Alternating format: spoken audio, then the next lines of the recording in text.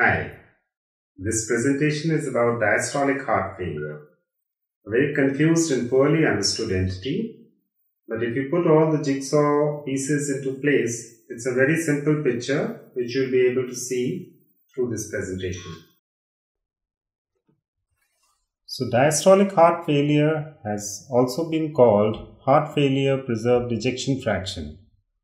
The reason is that the cause of the failure in this condition is contested.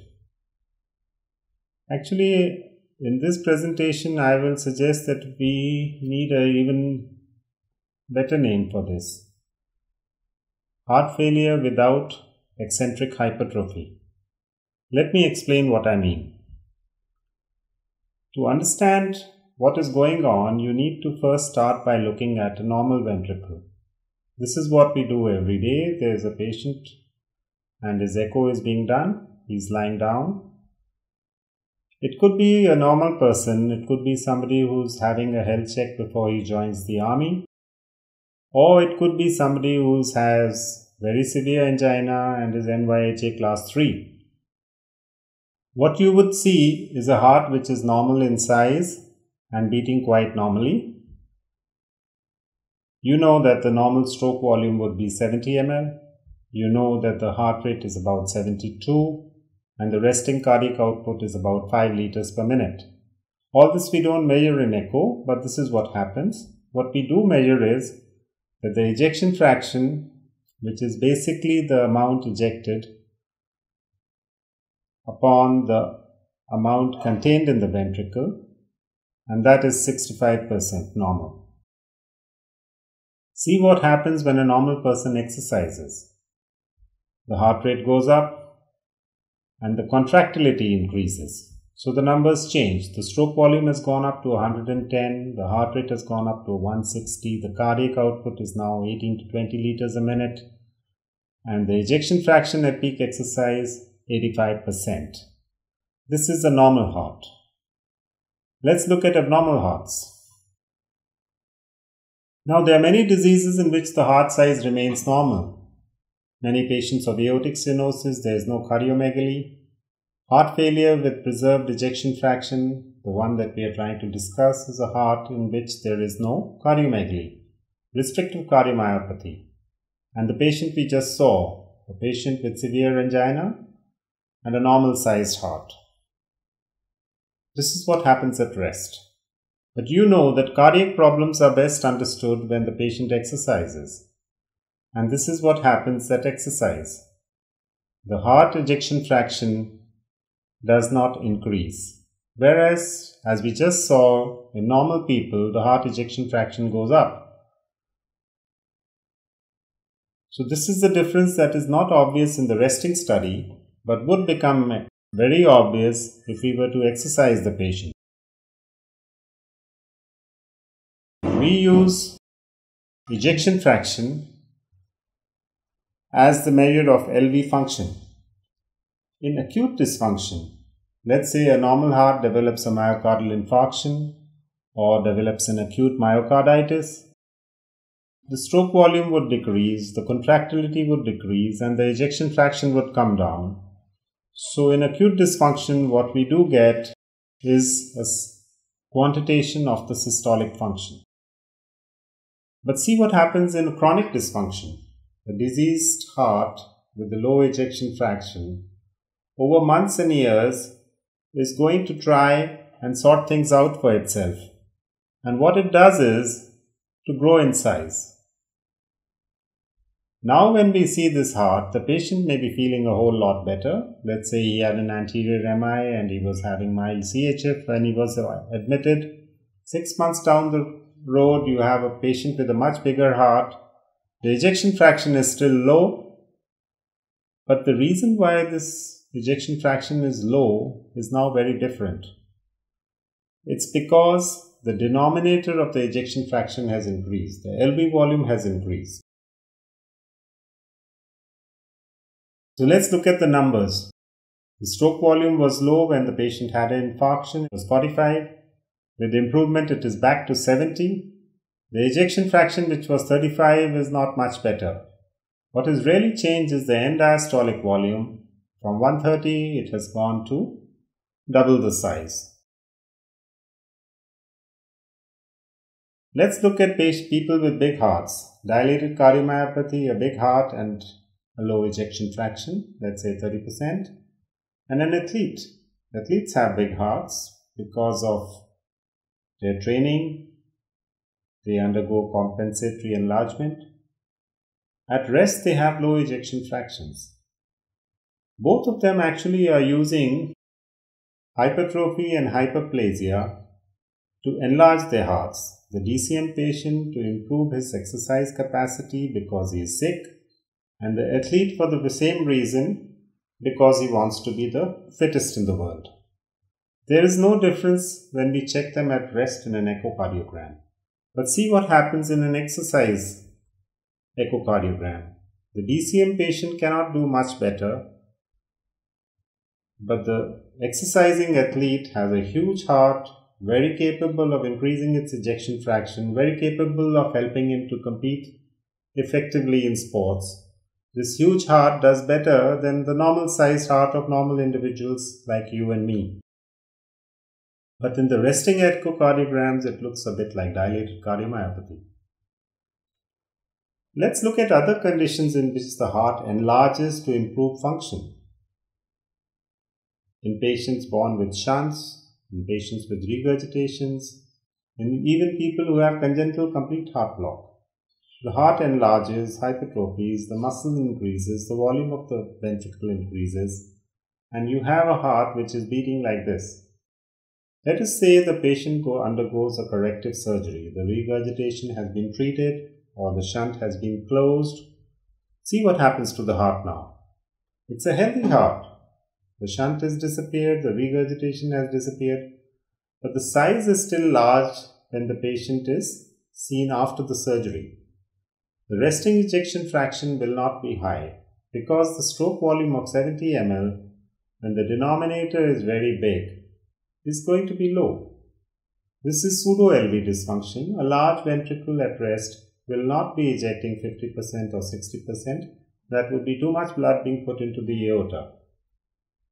The denominator is high.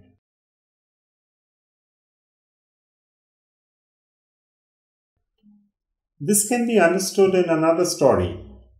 Imagine two people falling in love. The male is much larger than the female and they exchange their hearts. So the larger heart of the male goes to the female and the female's heart, which is much smaller, comes to the male. The next day when you do echocardiograms, it will be the male who will be doing poorly. He, his heart is too small for his body. The ejection fraction will go up and try to compensate. He will be sick, but echocardiographically he'll have an excellent ejection fraction, better than normal. See what happens to the female who's now got a big heart. The ejection fraction at rest will be fairly low, not because the heart is diseased, because the heart has very little to do for a small body when it is actually designed for a much bigger body. And then what happens in a lover's exchange of hearts chronically?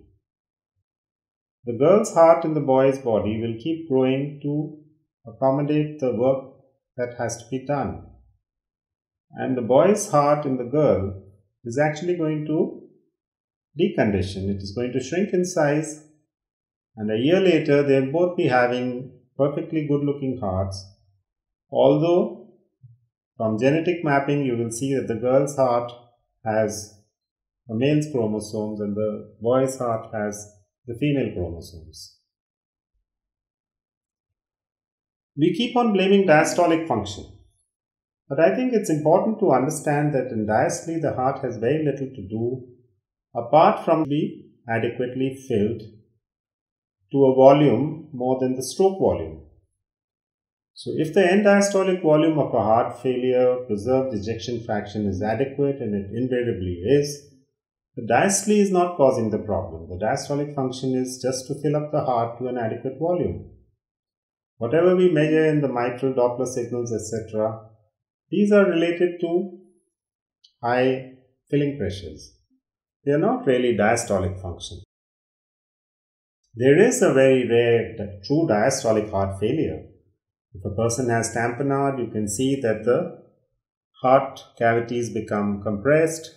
The same happens in patients of hypertrophic cardiomyopathy, especially when it is very severe, leading to hemodynamic compromise. Or if somebody has a large tumor in his ventricle, there will be no space for the blood. What happens? The heart compensates by contracting and ejecting most of the blood that it is able to accommodate in diastole.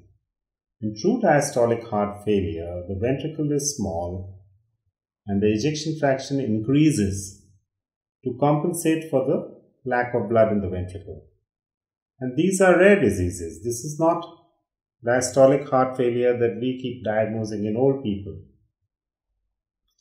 So, what I really want to say is that in chronic heart diseases, eccentric hypertrophy occurs, it increases LV mass and volume, and improves systolic function.